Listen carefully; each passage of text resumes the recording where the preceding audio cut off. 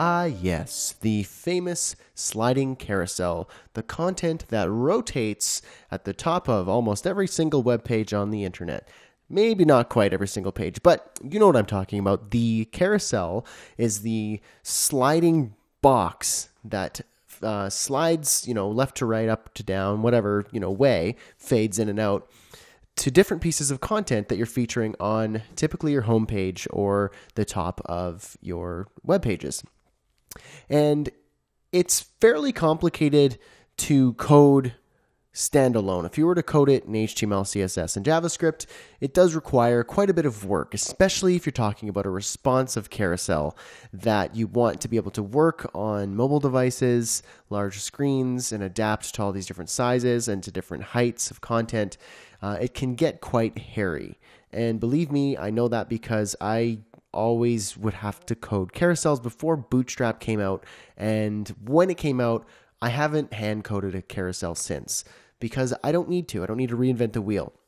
So it's it's very relieving to know that something like this is already built and it's managed and done very well. So you don't really have to worry about it. Now it's good to know the components and how it works, and that's why we're doing this course because you, you want to know how to do these things so you could find efficient ways to develop websites.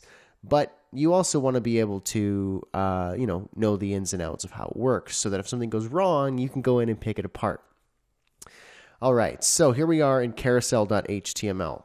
Now, keep in mind, Carousel uh, is a JavaScript plugin built into Bootstrap, so obviously you need that hooked in, and you do have it hooked in on your structure here in the footer. You got your bootstrap min.js.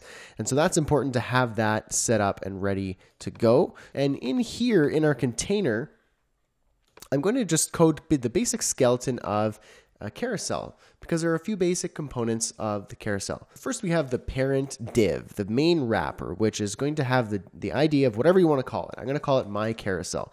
Now, keep that in mind because you're going to be using that a couple times throughout the, uh, the markup here. Class. It needs to have the class of carousel to get the styling and slide.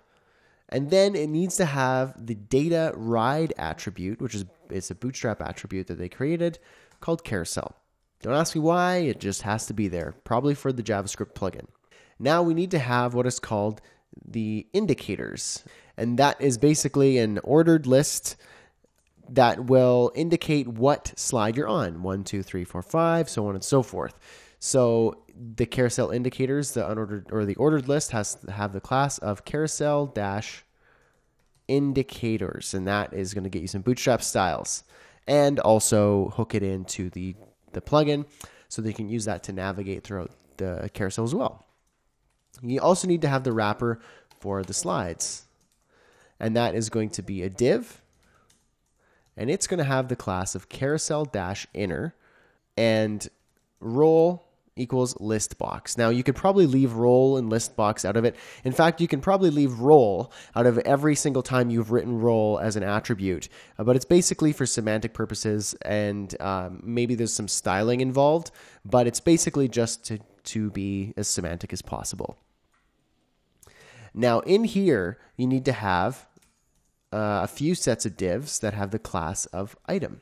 Inside item, you actually need to have an image, and we'll fill this out shortly. And you can optionally have a div with the class of carousel dash caption. Now that basically is the text within the carousel. You can omit that and just have an image, but uh, I'm going to show you it anyway because uh, we're going to we're going to use it. So copy that and paste it out two more times. And here is the basic structure of the carousel.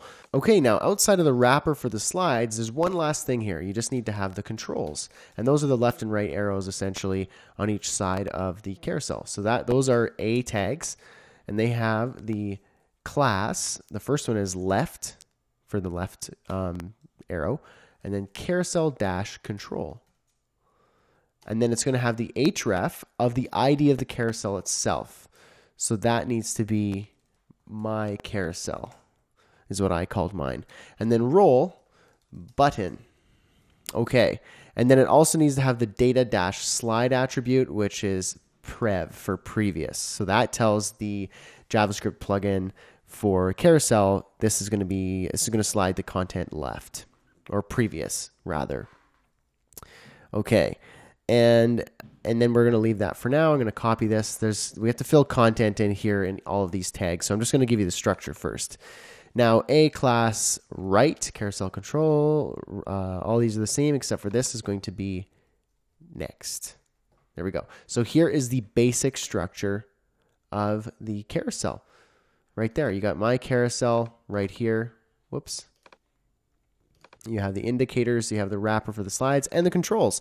So now let's go up to the top here and uh, work our way down to actually make this uh, work. So we have our list item for our indicators, data, target.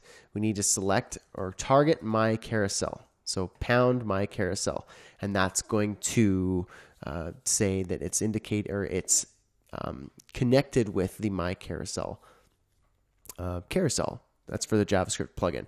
Data dash slide dash two equals, and now it needs to slide to the first slide, which um, is going to be zero because it is zero indexed, meaning the first number in the slides is actually zero. We've talked about that uh, before. Basically, when things are zero indexed, it starts at zero, one, and two, even though zero is the first one. It's just kind of how it works in programming. And then it's going to have the class of active. So it is active for the first slide. Now we're going to copy this, paste it two more times. This needs to change to one, this to two, and these other two don't need or should not have the class of active because obviously you can't have them all active at once. So there we go. There's our indicators. Those are done. Wrapper for the slides. Now the first one has to have the class of active. Otherwise it's not going to work. Uh, that's important to note. Now this image, we're going to just uh, pull some uh, stock images, uh, or placeholder images off of placekitten.com. HTTP colon slash slash placekitten.com slash, and then the size of the image that you want. I'm going to say 1260 slash 490. So an image that is 1260 by 490. And I'm going to say alt cute kitten. And so that's going to literally pull uh, a placeholder image of a cat into our site. And you can do that with placehold or placekitten.com or placehold.it is another one. Basically, it's just instead of you creating assets in Photoshop just to try stuff out, you can just pull them off the web using uh, cute little placeholder sites like placekitten.com. Carousel caption. And here I'm just going to add some text. I'm going to say level 4 heading. Um, welcome to the carousel. And then a paragraph tag. I'm just going to put some uh, basic lorem ipsum in there. Good to go.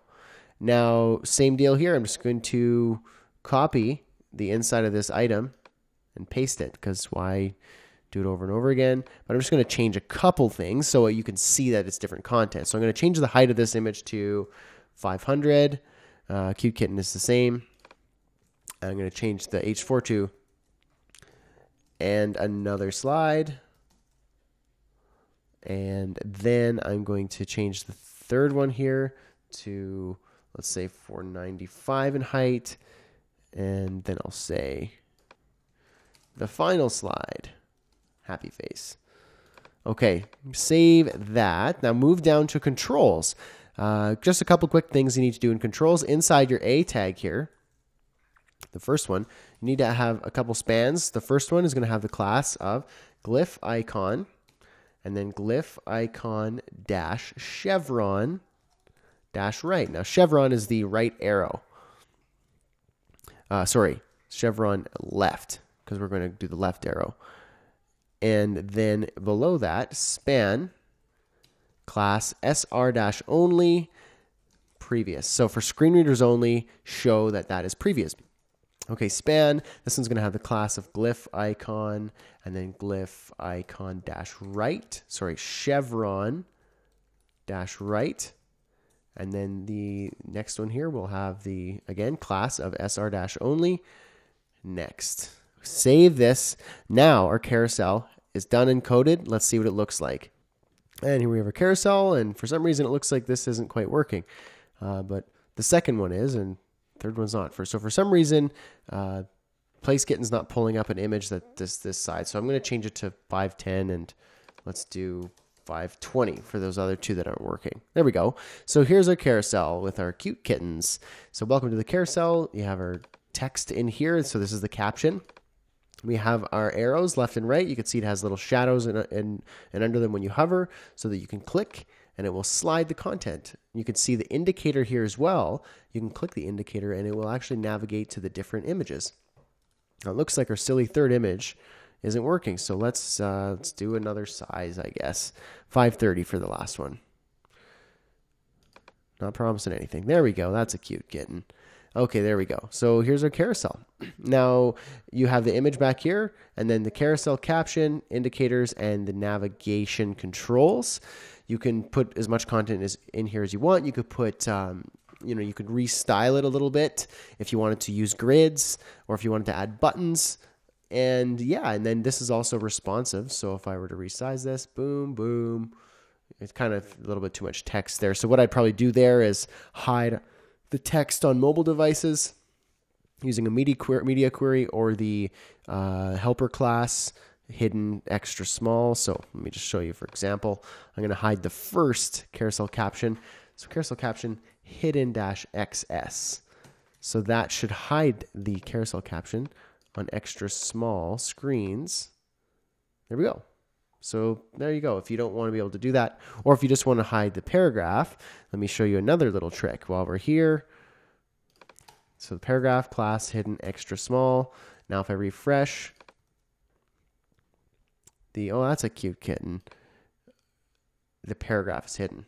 So it's a little bit more, you can see the second one, it shows the paragraph, but in the first one, it hides the paragraph just to make it a little bit easier on mobile devices to read.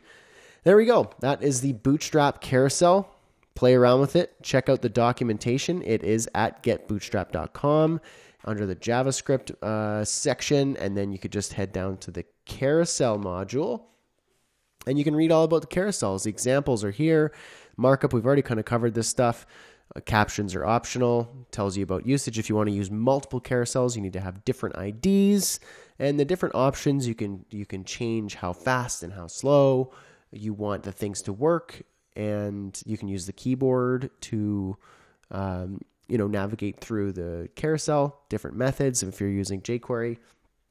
Yeah, and so basically that's the carousel play around with it, and I'll see you in the next lecture. We're going to be jumping into some cool stuff with Bootstrap.